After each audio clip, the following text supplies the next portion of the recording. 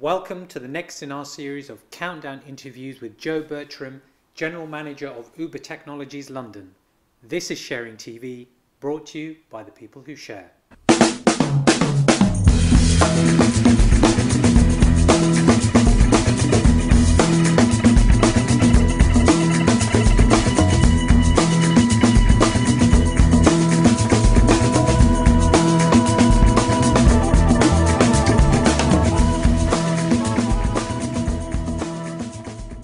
Welcome to Sharing TV, Jo. Thank you. So, you know the format. You have five minutes to answer as many questions as possible about Uber. Are you ready to begin? Yep. So, you can count us down from five, please, and we'll start the clock. Five, four, three, two, one. What is your background, Jo? Um, so I originally studied physics, and then I've been a management consultant for, for about eight years, uh, both in the UK and overseas. I've actually been overseas for about seven years in Australia, Singapore, Paris, Geneva, Addis Ababa, and South Africa, and then came back to join Uber in September last year. What does Uber do? So Uber is an app on the smartphone that connects riders with drivers of private hire vehicles. So at the touch of a button, um, users can request a car, watch him drive up in the app, um, get past the driver details, his name, his photo, his, his rating. Um, when he arrives, you get in the car, go to wherever you need to go, and at the end of the end of the journey, you can just get out. All the payments handled uh, via your credit card, and at the end, you're asked to give him a rating so that we can make sure we maintain the high standards of quality. When did Uber launch in the UK? Uh, so we've been in the UK since the middle of 2012. Where is the company based? Uh, it's originally based in, in San Francisco, um, and London was the second international city that, that we went to outside of the US. How many people does Uber employ worldwide? Uh, worldwide, we've now got about 600 people, but uh, growing very quickly. What are your immediate objectives here in the UK?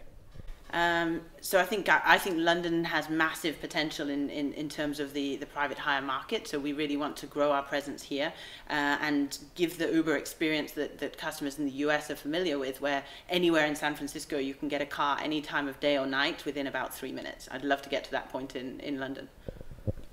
What are the biggest challenges to introducing Uber to the London market? I think London's probably one of the most um, competitive markets in the world. Um, the private hire industry has been established here for quite a long time, um, so there are a number of competitors. Uh, the biggest challenges facing me at the moment, since since I joined middle of last year, is really scaling up the business. Um, we're growing very very quickly, and how do you actually scale the team and, and the business to keep up with that growth? What is the most effective marketing channel that you have with consumers or passengers?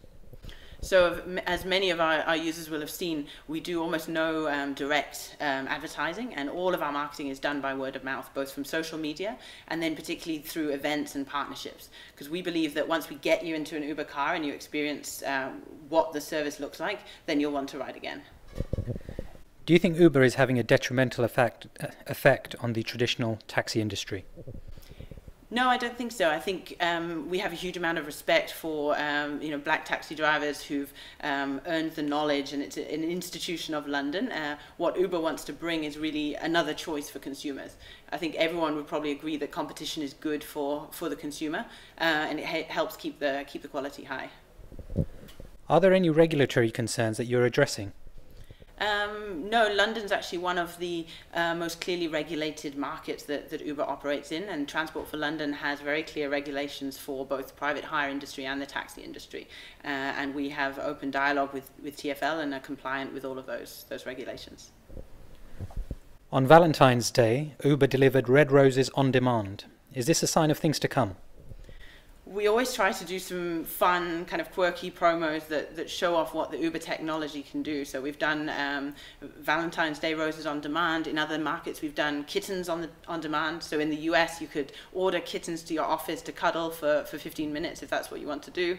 Um, at Christmas, we did Uber Christmas trees. So you could order your Christmas tree to your house and, and they'd bring it within minutes. Uh, we did skywriting in the US for, uh, for Valentine's Day. So that's definitely something we want to carry on doing and experimenting with the, the power of the technology. What will Uber London look like in three years' time?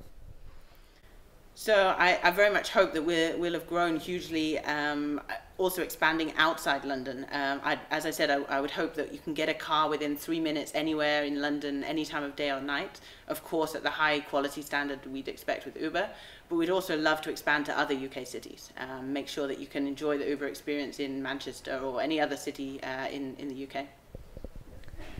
Could you explain the three levels of service that Uber offers? Yes, so we're trying to offer a portfolio of products for our users, whatever they whatever their needs might be. So on the highest end, uh, we have Uber Lux. Uh, it's a long wheelbase S-Class Mercedes, um, suit and tie driver, bottles of water, magazines. Lots of them have TVs or iPads in, maybe Wi-Fi. We'd like to think that this can become the the highest quality chauffeur service in London. Give us then we've got the um, Uber exec, uh, which is aimed at the, the corporate market, going to meetings, something a little bit more discreet. Uh, it's a S-class, uh, E-class uh, Mercedes or, or, equivalent. And then finally, um, the best value, sort of lowest cost option, Toyota Prius. Uh, Uber X is a Toyota Prius. Um, still the quality of service and same user experience as you expect from, from Uber, but typically 30 to 50% cheaper than some of our competition. That's your five minute, Jo. Thanks for joining us. Thank you.